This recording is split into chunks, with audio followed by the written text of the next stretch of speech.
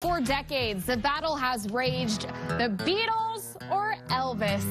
The most infamous rivalry in rock and roll never played out in a public arena until now. The musical mm -hmm. showdown is happening tonight in Fort Smith. We've got Scott Bruce and his band with us this morning to tell us a little bit about what you can expect tonight.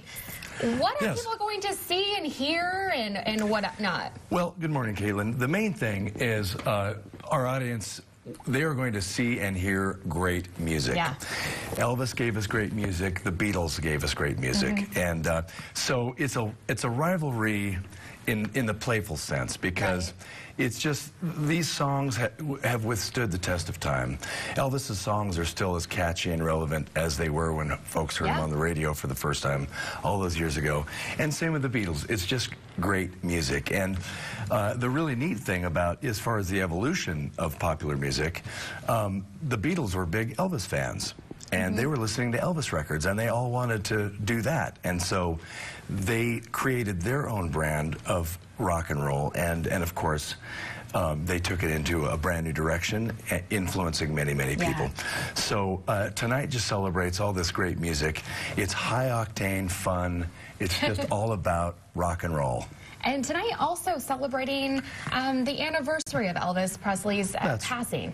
That's right. Uh, and and it is it, it, we're honored to be able to to bring Elvis's music to this beautiful yeah. area. And and and sadly, Elvis did leave us 41 years ago, but he left behind a wealth of music. Mm -hmm. He recorded more than 700 songs. Amazing.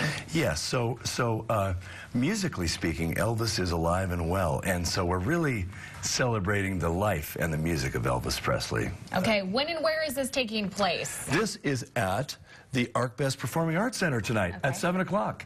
So much fun. And we do have some tickets to give away. We have two tickets to give away to Bridget Miller, so congratulations. Uh, you can find information on how you can get those tickets on our Facebook page on KNWA.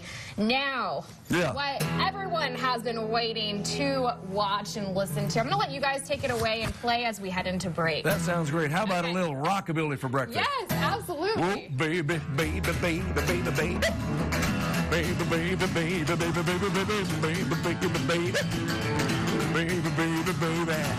Welcome back, baby. I want my house with you. Well, you may go to college, you may go to school, you may have a pink Cadillac, but don't you be nobody's fool. And now, baby, come back, baby doll. Come back, baby doll.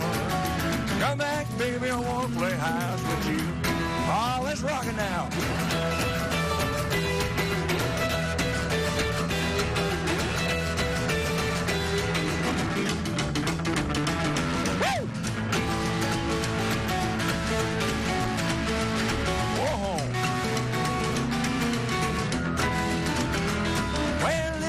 tell you, baby, what I'm talking about back we can play a little house we can act like we did before. Now, baby, come back, baby doll. Come back, baby doll. Come back, baby, I wanna play house with you. Oh, baby, baby, baby, baby, baby, baby, baby, bo bo bo bo baby, baby, baby, baby, baby, baby. Come back, baby, I want the house.